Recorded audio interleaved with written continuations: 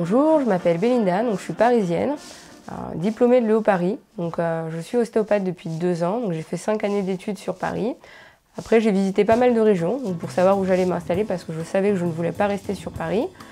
Et puis, bon, bah voilà, j'ai hésité entre pas mal de régions, dont la Bourgogne et puis la Creuse. Et puis finalement, c'est la Creuse qui m'a séduite. Donc, je me suis installée à Bona et puis, bah, du coup, euh, en remerciant toutes les personnes de Bona de m'avoir accueillie depuis deux ans.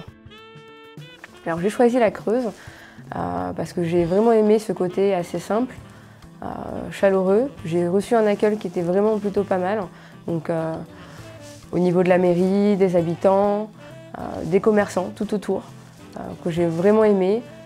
Il y a vraiment ce côté assez familial, une patientèle qui est franchement adorable, que je ne pense pas que j'aurais pu avoir ailleurs parce que c'est vrai que tout habitant a une différence selon les régions. Euh, j'ai beaucoup aimé le territoire aussi. Donc j'ai visité le Crozan, euh, le lac de Vassivière, Tijouya, la, petite plage que j'ai beaucoup aimée. Euh, et puis je m'étais donné un pari, c'était de rester un an minimum.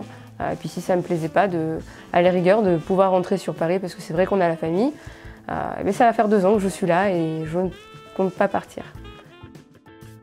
Alors si vous hésitez encore à vous installer en Creuse, je vous dirais juste de foncer parce que de toute façon, euh, on n'a qu'une vie, qui ne tente rien à rien, et que euh, bah, moi au final, j'en suis très heureuse. Je suis même surprise, euh, bah, surprise de, tout ce que ça m'a apporté.